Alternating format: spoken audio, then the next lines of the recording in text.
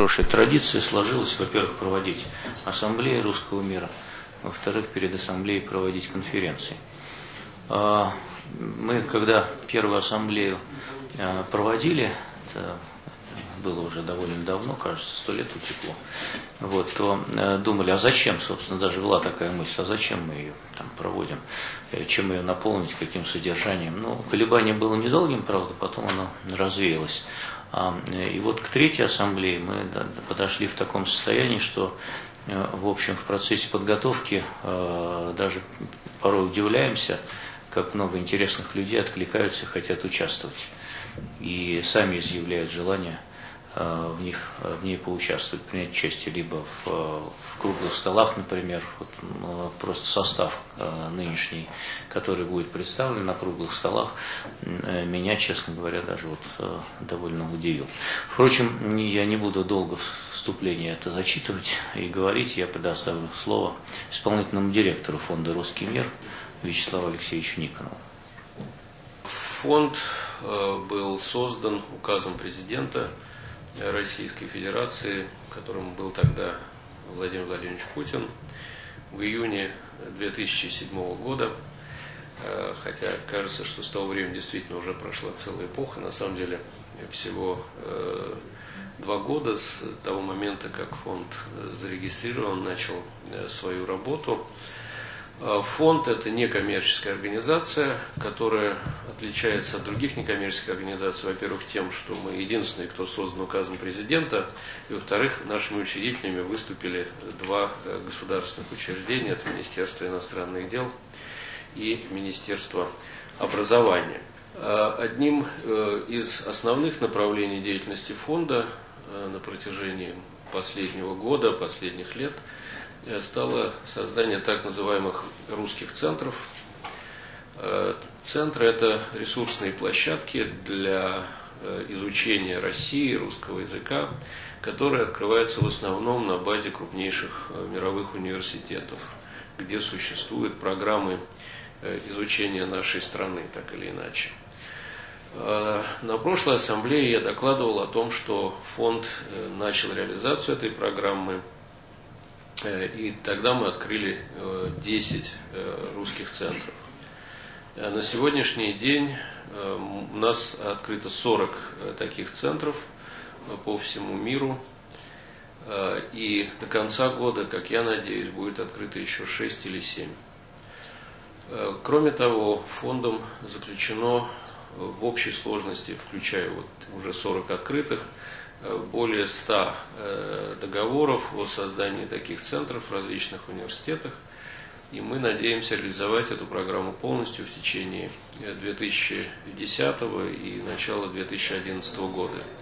Таким образом, наша цель – иметь больше 100 э, центров русского мира э, на земном шаре в 2011 году.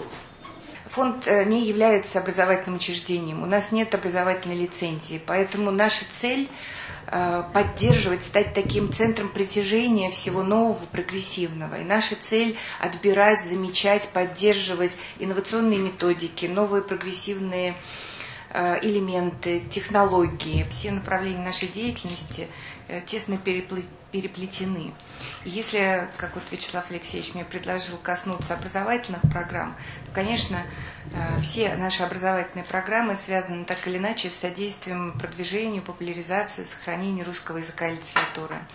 А внутри э, этого направления работы деятельности фонда «Русский мир» э, мы, конечно, особое внимание уделяем детям и программам, направленным на то, чтобы дети за рубежом, дети из смешанных семей, э, как их называют, и чаще всего это билингвальные дети, э, дети граждан э, других стран, которые приходят в наши культурные центры, которые хотят и стремятся учить русский язык, чьи родители считают знание русского языка реальным конкурентным преимуществом для своего ребенка в будущем.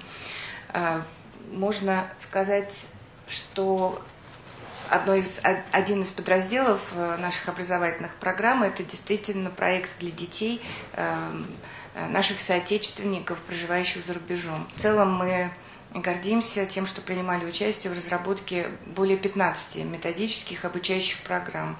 Имеется в виду и э, мультимедийные, компьютерные, вместе с лучшими коллективами учебно-образовательных, высших учебно-образовательных учреждений. Это и Центр международного образования МГУ, и коллективы из э, Университета дружбы народов и Санкт-Петербургский государственный университет. Есть и разработки совместные с авторскими коллективами из зарубежных образовательных учреждений. Культурная составляющая, конечно, присутствует в деятельности фонда, и любой семинар э, повышения квалификации или какой-то другой научно-методический семинар, симпозиум, э, безусловно, проходит э, совместно с Днем русского языка, с Днями культуры российской. Проводятся специальные круглые столы посвященные как русскому языку, так мы разрабатываем новый формат. Вернее, он разрабатывается сам по себе, а, исходя из вызовов времени и желаний а, наших русского зарубежья. Этот формат называется «Круглый стол. Русский мир в какой-то из стран». Русский мир в Австрии, русский мир в Испании. Когда собираются э, диаспоры, известные деятели культуры, наши грантополучатели и рассказывают о том, как вот живет русский мир в той или иной стране. Спасибо вам за внимание и ждем вас на ассамблее 3 ноября, прямо с утра. Скажите, пожалуйста, какие сложности вообще возникали с открытием а, представительства? Ну, вы знаете, каждое открытие каждого представительства – это огромная сложность. Э, потому что должно совпасть большое количество обстоятельств. Это желание университета, э, наличие людей, которые готовы активно работать.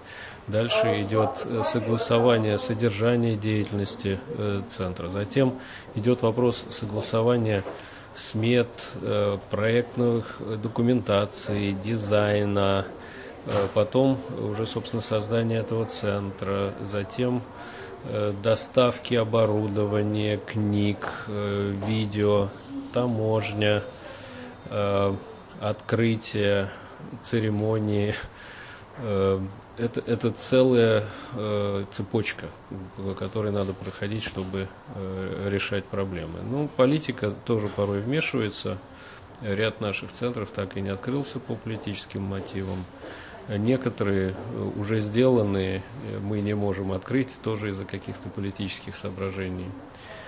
Ну и, конечно, самая главная для меня проблема с открытием центром – это отсутствие времени и с очень большими э, расстояниями, которые постоянно приходится преодолевать. Скажите, а будут в ближайшее время какие-нибудь центры открываться на Кавказе? Мы на Южном Кавказе центры открыты, существуют и в Армении, и в Азербайджане, и в Грузии. Я не спешу с открытием центра, надо прояснить, э, чтобы прояснилась ситуация. Нам не нужно слишком большого внимания к нашему центру. Что касается Северного Кавказа, мы, э, как правило, не открываем центры внутри страны. У нас есть учебные центры, для наших методистов, скажем, в Российском университете дружбы народов, э, или мы сейчас планируем такой центр сделать в Институте Пушкина для иностранных студентов. Э, но на Северном Кавказе, вероятно, э, мы можем сделать исключение, например, для Чечни или Ингушетии.